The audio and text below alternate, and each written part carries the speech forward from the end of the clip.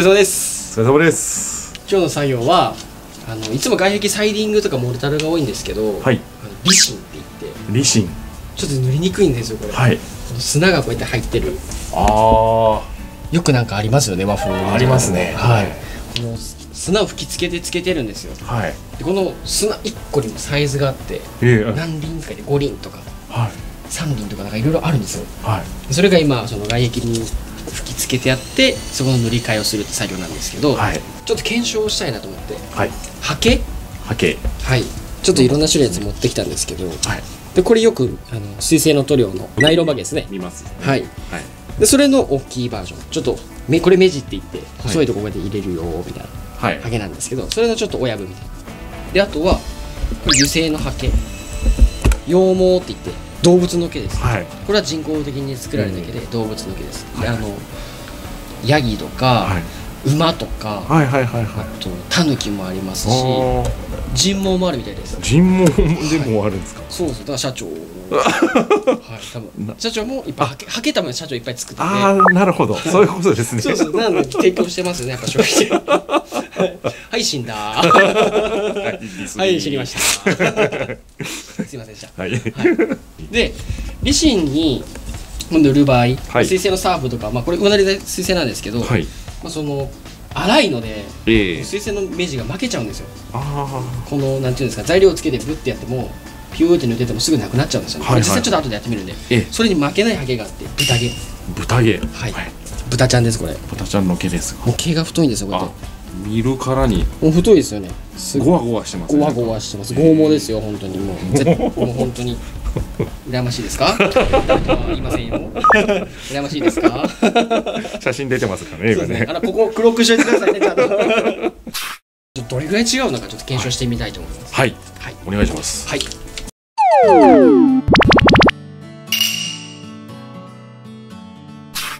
じゃあこの一回目地ばけではい水性のナイロンですね。ナイロンで柔らかい本当はい柔らかいやつで、この目地ちょっと塗ってみますね。はい材料つけます。いきます。全然進まないんですよ、ね。またつけては。はいはい。細かいところが入んないんですよね。平らんとこ塗ると、こう塗ったらもうすぐもう材料なくなっちゃいますよね。全然違いますよね。でこれ毛の量もあるので、はい。これ薄いじゃないですか、はいはい。なので含みも悪いんですよ。ええちょっとでかい方で。はい。これも水性バケです。でつけて同じように塗ってもこれぐらい塗れてももう負けていっちゃうんですよ。ああ本当すぐですねすぐなくなっちゃうんですよ。もう全然塗れないです。なんであららら。塗ってる時にもこうやってこうやってやったらもうすぐつけてほっ。忙しいですね。ほってやらなきゃいけないんですよはい。ひたすら。それっても結局はこの凸凹に毛が負けちゃって。はい。もうなんていうんですかね。負けちゃうんですよね。はいはい。ちょっと伝わるかな表現が難しいですけど。そうなんですね。で次羊毛っていうはい。動物の毛を水性で塗ってみます、例えばこうやって。意外とあ。いけるんですけどはい。使ってると、あ結構使えるなこれ。結構使えるんです案外使える感じですか。もう一瞬ですよねこれも。どんどん、はいあのなんていうんですかねゴベゴベになってっちゃいます毛が、なのであんまりよくないです。はい。次豚毛。これも最強ですこれ。こ最強の。れ最強ですよ。豚さんが。豚さんはもう最強です。いい仕事をしてくれますからそうなんですよ。お肉でも豚安くて美味しいじゃないですか そうそうヘルシーですそうなんですよ。安くて美味しいしこれ豚毛も安いんですよ。あそうなんですか。そうなんです馬なんて高くて。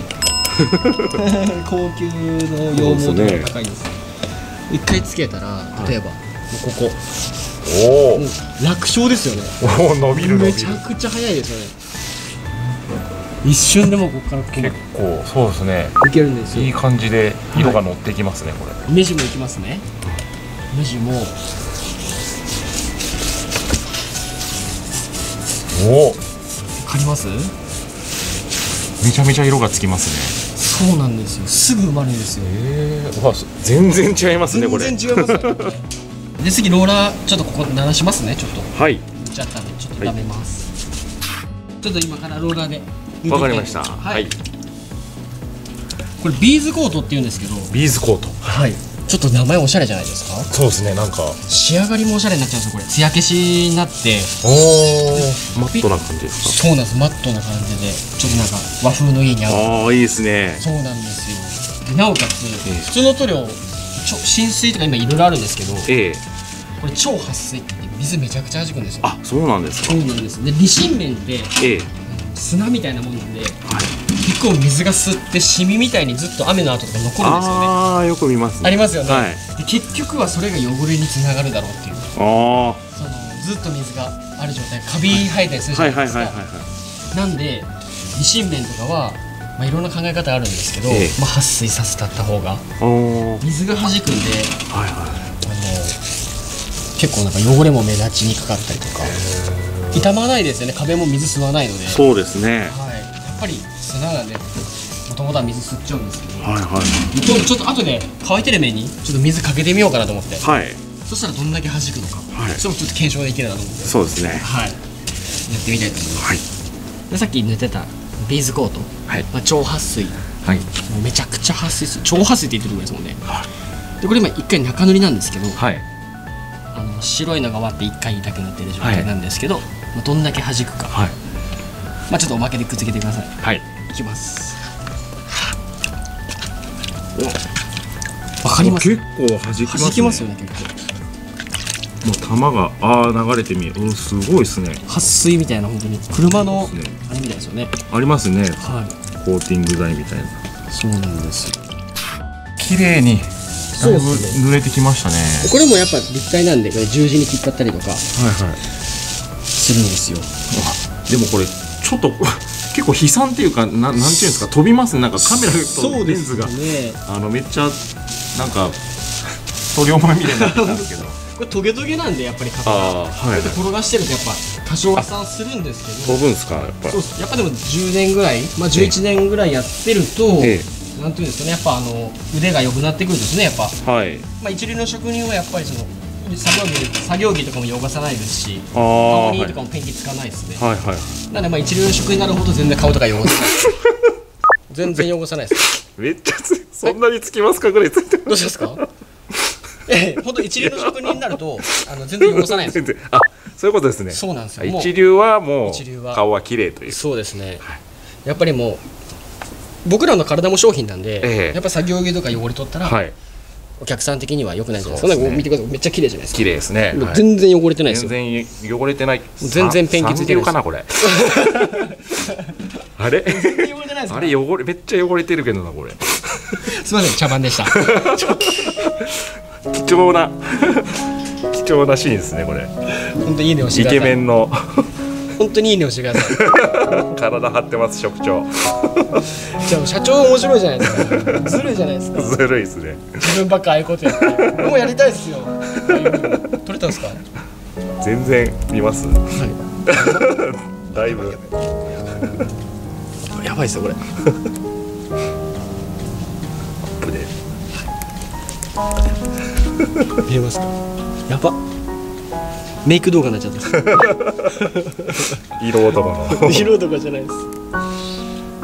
こんな感じですよ。はい。こんな感じですよ僕は。こんな感じですか職長情けないとかいうコメントやめてくださいね。僕知ってますからね。なんか書かれてました書かれねてましたよ。職長を語るな的な。は語らせてください。え。まあちょっと顔もヒリヒリしてきたところで。いはい。はい。ちょっとまあこんな感じで寝てますと。いはい、う感じで。はい、また見てね